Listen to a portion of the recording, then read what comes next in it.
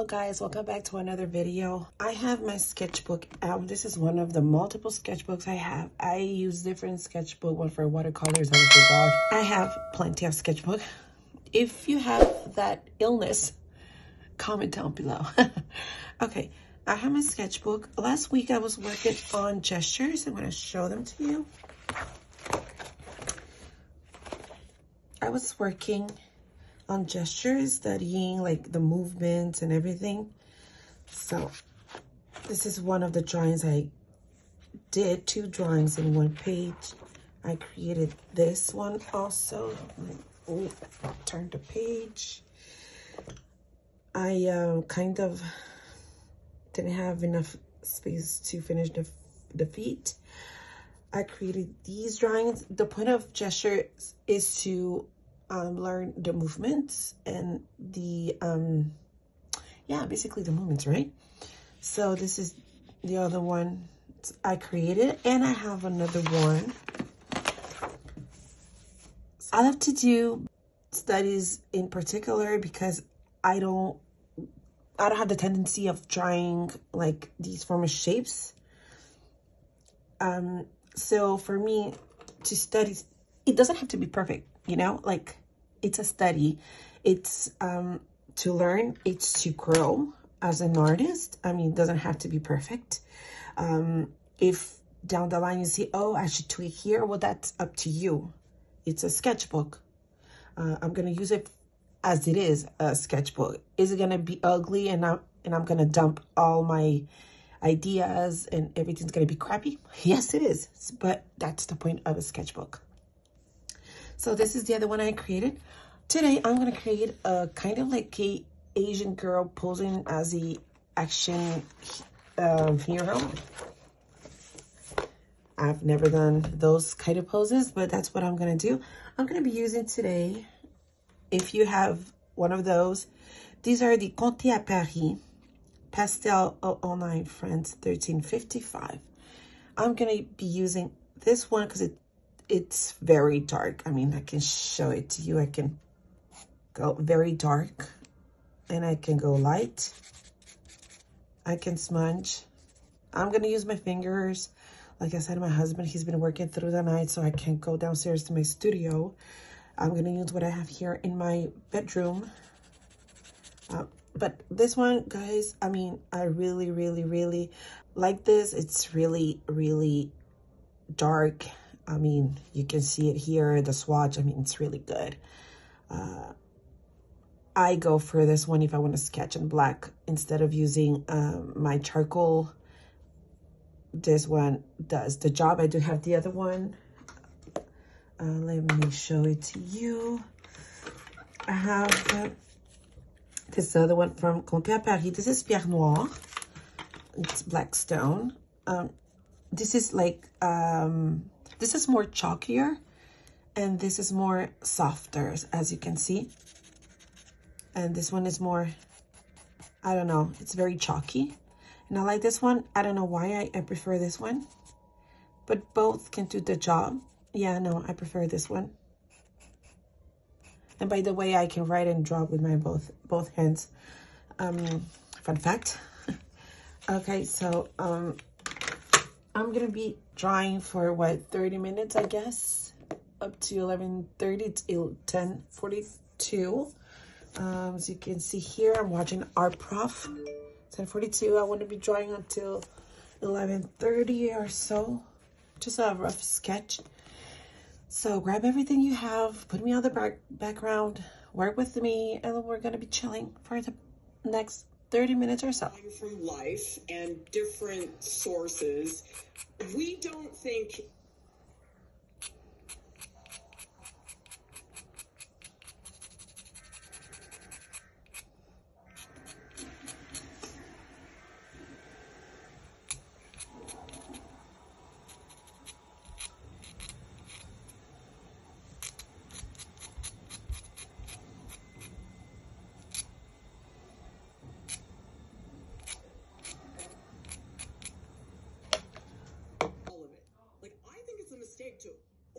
from life and refuse to draw from a photo.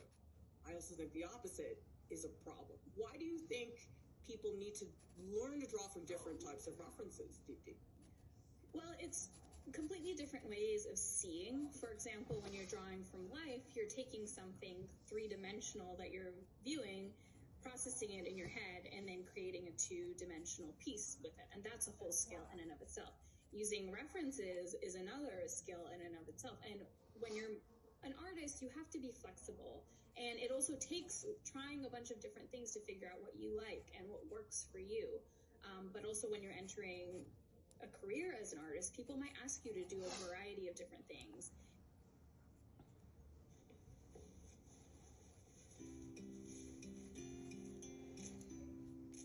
All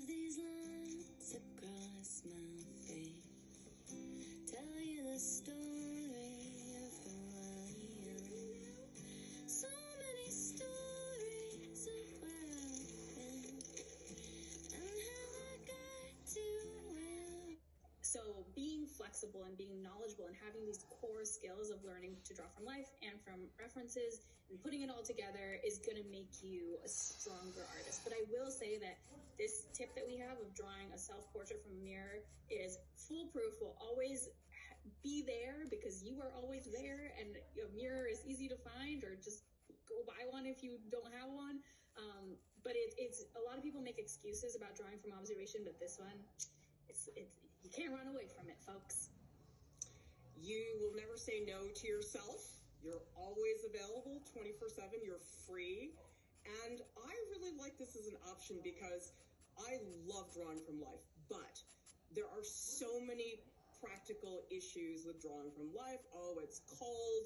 There's flies on my head because I'm at a cemetery in the middle of southern Utah. And oh my God, if I died, nobody would find me.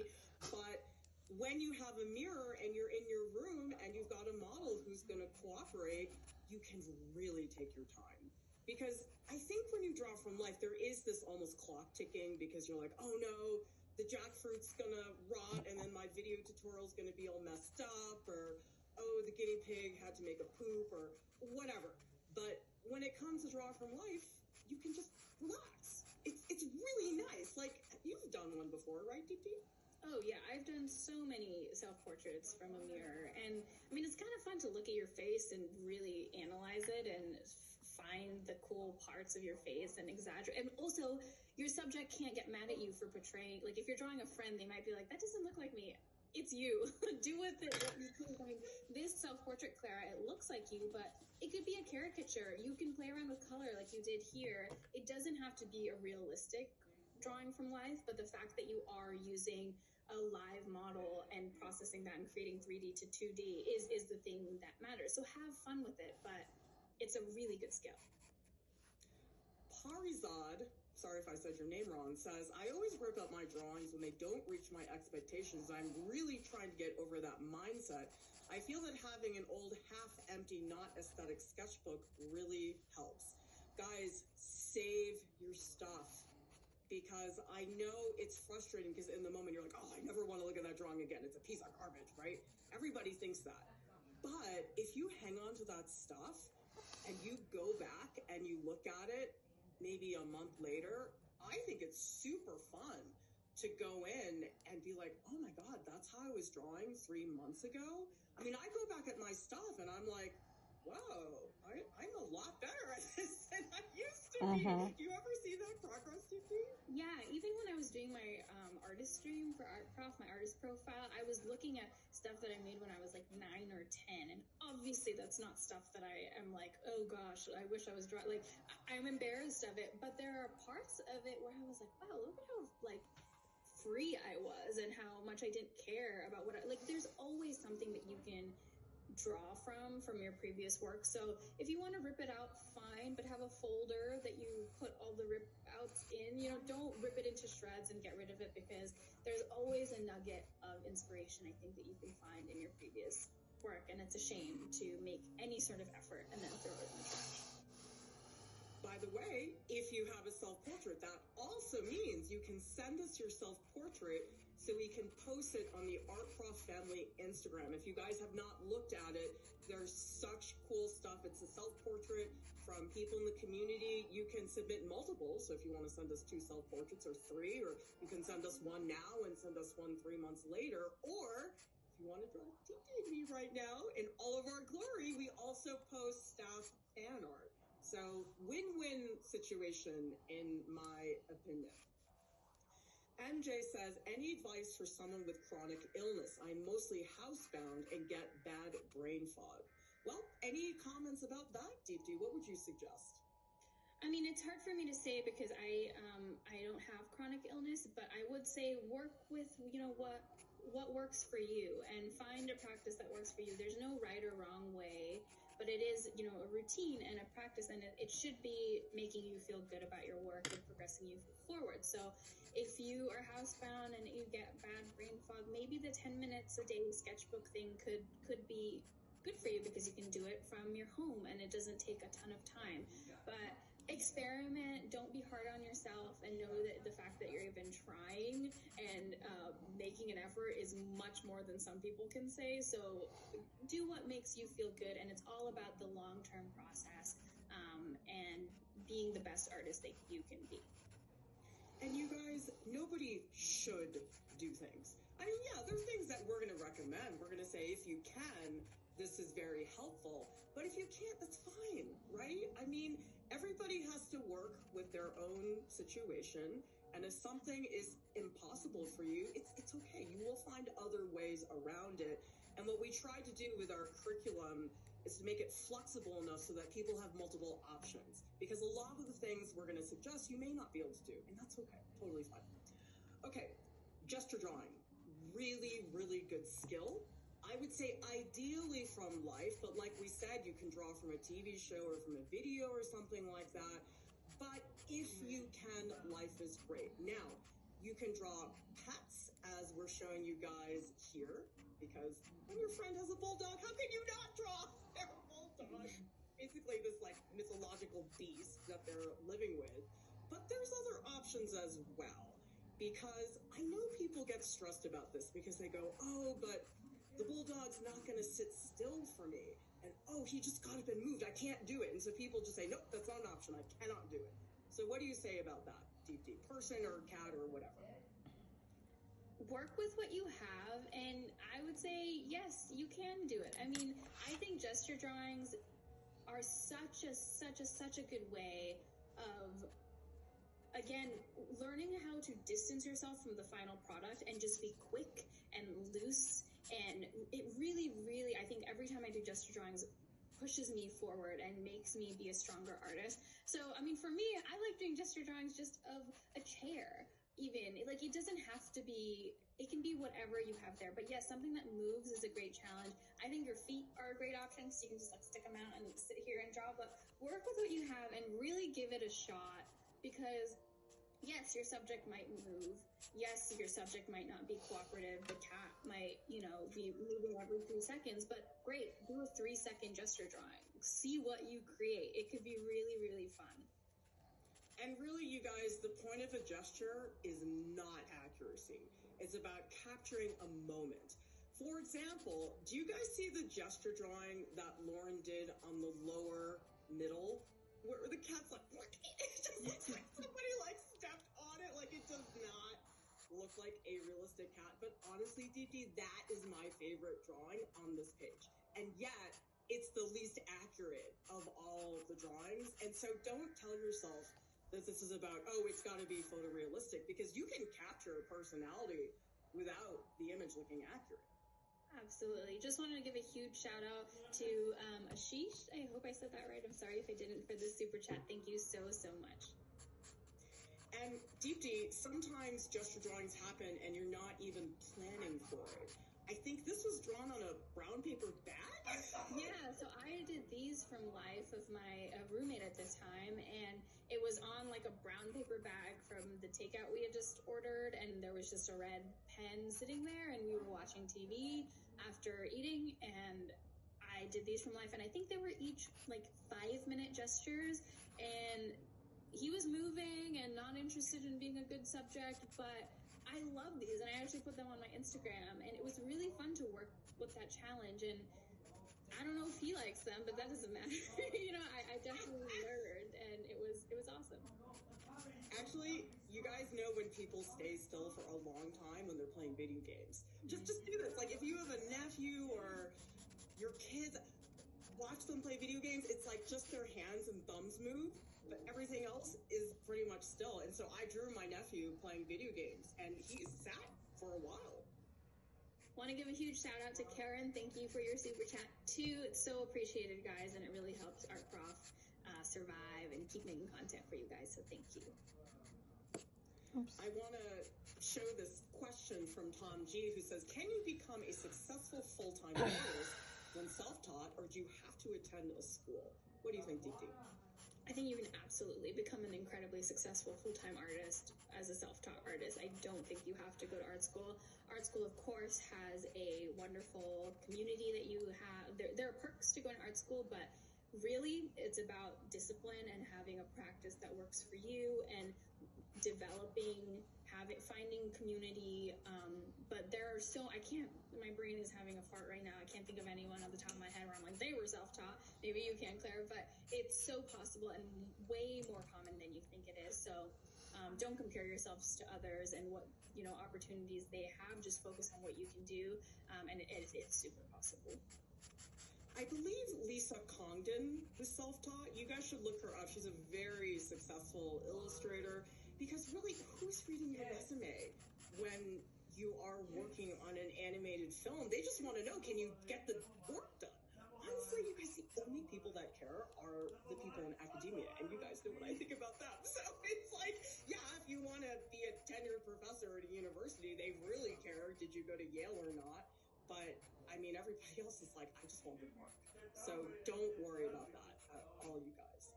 And sometimes these sketches, you guys, it's my kids lounging around in their pajamas. This is my daughter watching TV. She's just a big blob of clothing. These are some sketches from my Taiwan tutorial. This is my nephew, again, playing video games and eating candy at the skating rink that we were hanging out at. So sometimes it's these like idle moments where you're like, oh, I can't believe I have to hang out here. What am I going to do? It's like, yeah, I could look at Instagram, but I could also draw. Or sometimes things develop into something bigger. Like this is from Taiwan. This is my dad and my daughter playing Go. And they were there for a while. So I really could sit and develop it. But other times you're just on the street and you've got two minutes to go. Okay, so Deepti, I think a big part of being a self-taught artist is learning how to draw space and how to understand backgrounds and landscapes and how to use that. Why are we saying do it on site? Because out of all the practicalities, this is the one that's the biggest pain in the butt. Well, I think when you're drawing on site, again, I'll say it so many times, the process of seeing something in real space 3D and then translating it onto a page in 2D is a really difficult skill that's overlooked. But also when you're drawing on site, you're able to walk up to a tree and really analyze the textures and look at the colors. You're able to with reference images, you're given a frame and that's your frame and that's what you can work with. When you're in a food hall like this, Clara, you can really shift your body and figure out the composition that you want. And you have so much more control as the artist to manipulate what you are going to draw and even just sit there and smell the smells. It's a really luxurious, involved experience that will, regardless of if you're thinking about it, translate onto your page. Well, because so much of this is being in the space and physically experience it, but also like the atmosphere, like you said. This is from my Taiwan tutorial, and this is a hole in the wall restaurant. It's like a hole in the hole in the wall restaurant. I mean, it was so quirky and weird. I think the kitchen was probably the size of my bathroom, and my bathroom is not that big. And I was waiting for food, and I was like, you know, I'm gonna draw their kitchen. Sometimes you're at a temple with a beautiful sculpture, but I think being in the place, like smelling the smells, hearing the sounds. So even if you're in the space for a very short period of time, just getting to be there and remembering what that felt like, like this tofu cart, which was in front of me, I literally think for about two minutes and then it went away and I was like, okay, I guess that's all I'm gonna do. But smelling the space, feeling the light. These are all things that you guys are not going to experience if you download a picture of Taiwan food market. It, it's such a different type of thing. Now, Deepti, what do you do if you can't travel to Taiwan? Because obviously not everybody can do that. Are there still options near where you live? Absolutely. Draw your bed, right? Like as soon as you got out of your bed and it's the sheets are messy, draw that. There's a story there. You know, maybe you had nightmares or maybe you had a really pleasant sleep, but you draw that, draw your bathroom, walk right out onto your stoop, wherever you are. You know, there is a story everywhere. Um, hello, the filmmaker speaks. but there is a narrative everywhere, and it, it could it could be your cat's litter box. It could be your shower right after you took a shower. The water is glistening. You know, there is a story everywhere, and it does not have to be such a beautiful, exciting place like Taiwan. It can be your grandmother's backyard. Um, there is something everywhere, and you will discover that. Just force yourself to sit down and look uh, make observations because you'll be surprised what you can find. And you guys, things don't have to be so picturesque. I mean, a lot of people will say to me, well, why did you choose to draw that when you could download a picture of a corpse flower from National Geographic and draw that? I'm like, yeah, I could, but I would rather draw this crummy little weed in my driveway because I can really see it and I can really engage with it. You know, if you really need to draw a corpse flower, that's cool, that's fine. But have the experience of drawing that crappy little weed that's in your driveway. Thank you. Huge thank you to Garvey for this super chat. Thank you again. Uh, we, we appreciate it so, so much, guys. Thank you so much. Guys, 2021, we're going to put Art Prof on the map. Now, I know you guys all love us and we love you guys so much, but we would like our family to get bigger so more people can access our content. So thank you for your support. It really helps us do that. Ideas and brainstorming. Now, why are we putting this in deep Because I think I've heard a lot of self-taught artists say to me, well, listen, I don't feel that great about my technique. My drawing skills aren't really there yet. I'd like to be better about color. I don't think I'm ready to do ideas or to brainstorm. What do you say to that? Well, I think it's important to realize that yes, technique is important, and yes, being a very strong technical artist can take you far, but content and narrative and the emotion behind your art. You're an artist for a reason, and that's down to the ideas behind your work and what it means and what you're trying to say. Um, even abstract art that you look at that you're like, huh? A lot of time, like that has emotion behind it and it has an impact. So where do you get that content and that narrative and those feelings? It's through the brainstorming process and the ideas. And your work does not have to be the most beautiful Renaissance painting to create an impact. The impact and the narrative and the thing that's unique is the content behind it and you as an artist and how you uh, show that. So that's when ideas and brainstorming comes into into play. I don't think you should do them separately because I've seen a lot of people do that where they're like, okay, right now I'm going to work on my skills. I'm going to get really good at it. And they do that for a couple years. And then all of a sudden they realize, oh no, I get to start thinking using my brain about what my work is about. And then it's like their brainstorming and idea development is so behind their technical skill that it really doesn't work out very well. In fact, sometimes, Deepti, I've seen people in my classes, their ideas are so good and their technique is okay, but the technique is enough to carry the idea. And sometimes it's the other way around where it's like, wow, the technique is so good, but the idea is so boring. Who cares? And so I don't think you guys that this can really fly in terms of separating idea from execution. I really think you got to learn how to. I mean, small. was that a process you went through at all? Absolutely. And I mean, when we're talking about a sketchbook practice and doing gesture drawings, of course, there's not going to be some crazy idea between you drawing your cat for five minutes.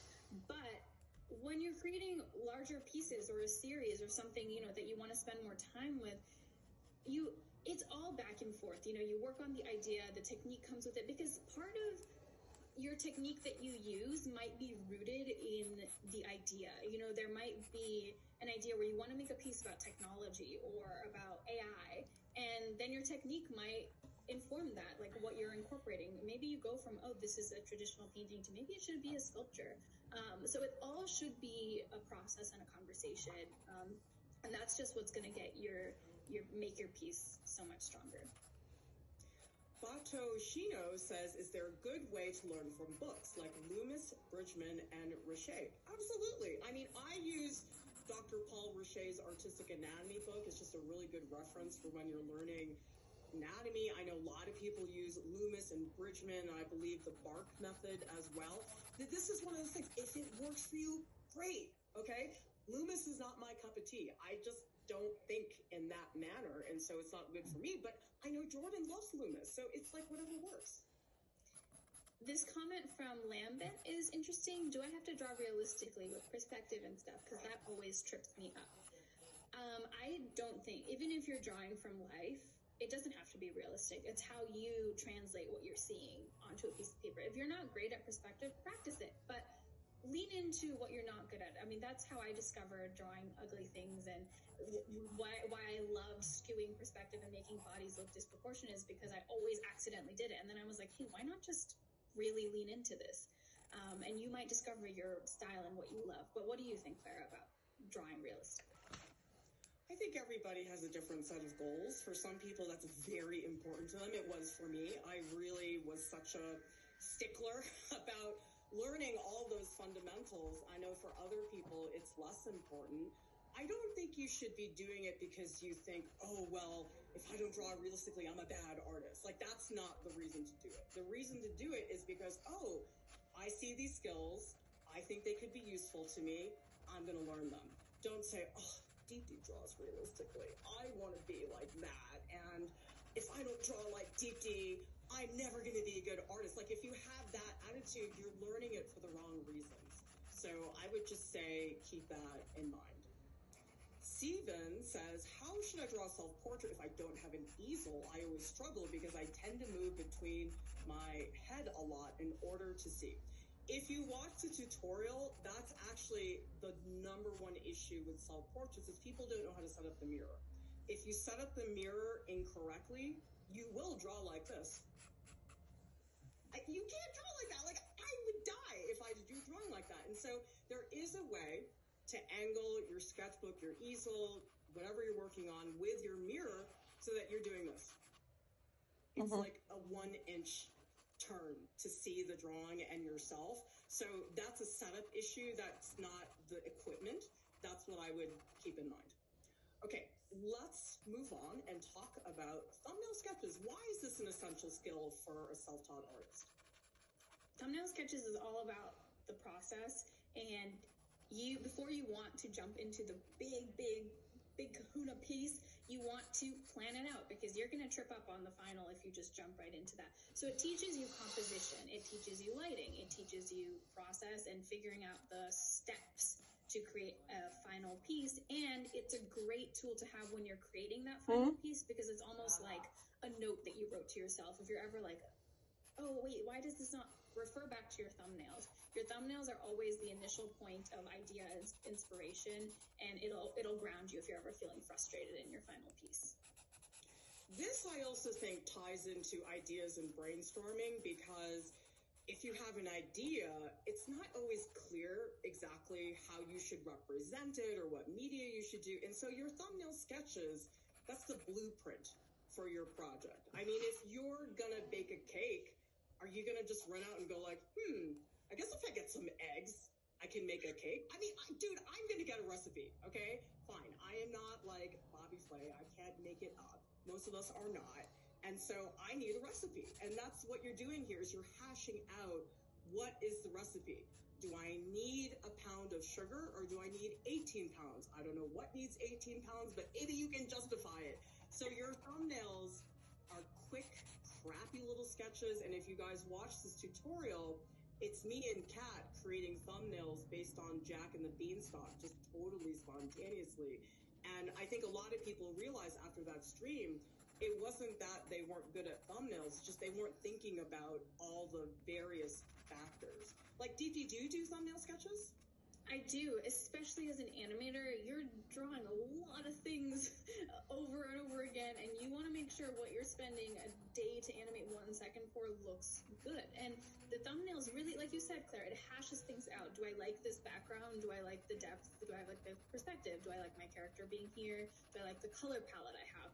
Figure all of that out when you're working on a scale this small and not when you're working huge because it's so easy to restart and try out. You can you can like bang out a hundred thumbnail sketches in an hour, less than that, in ten minutes. You know, it really doesn't have to have much detail as long as it makes sense to you. Um, but I do thumbnail sketches all the time because why waste a huge canvas or a day of animating 10 seconds when you can just figure that stuff out in the early stages? Darian says, I really try to draw things in perspective and realistically, but they always turn out fantasy and animated. Is that bad to draw everything in one style? It really, really depends on where you are and how much experience you have. Like, I would say if you're in high school, that's probably not such a good thing because early on in your artistic development, you want to treat the world like a, the biggest buffet. Like, taste a little bit of everything and then you'll realize, oh, I really do not like rambutans. I don't know. I've never tried one before, but I should. The point is that you can quickly fall into a lot of habits that then become a crutch. And that can become a limitation because maybe because you're relying on that style so much that you're not trying anything new. It's hard because other people I say, listen, you got to buckle down and hone that style. So, would you know where you fall with that? See, I think the idea of using it as a crutch is a good one. Do you find yourself resorting or, or using that style because it's what's easiest to you and you're nervous about trying other things or it just doesn't work out?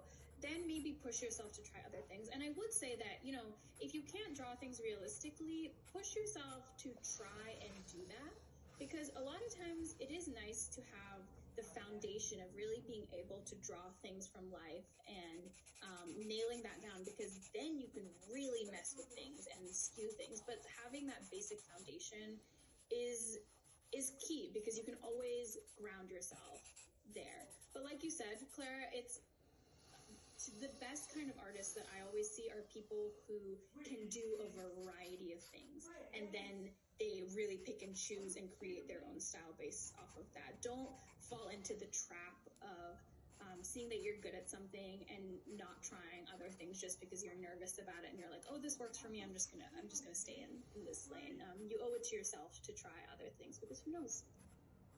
Listen to yourself. If you hear yourself saying, that's really hard. I don't want to do that. I'll just do this instead. That that's a sign that you're probably doing it for the wrong reason. Mm. So keep that in mind. Vanessa says, how important is it to structure what you learn when you're a self-taught artist, especially for the first year of learning? Is it enough to just draw what you like and see and where it takes? Okay, so that's it for the video of today. Give it a thumb up if you like it. Comment down below if you have any suggestions of other videos you want me to do. I think I'm going to be doing more sketching session because I really like this one. It's kind of, it zones me out. I'm like drawing, not thinking of anything else. But thank you very much for joining me today. And we'll see each other in the next video. Like, subscribe, comment down below. We'll see each other on the next video.